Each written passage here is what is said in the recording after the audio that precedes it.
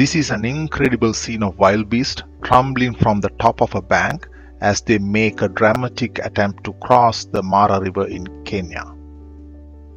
The big beasts jump 30 feet as they make their way across the river. The animals, which do not survive or become injured, are fed upon by hungry crocodiles waiting for an easy meal.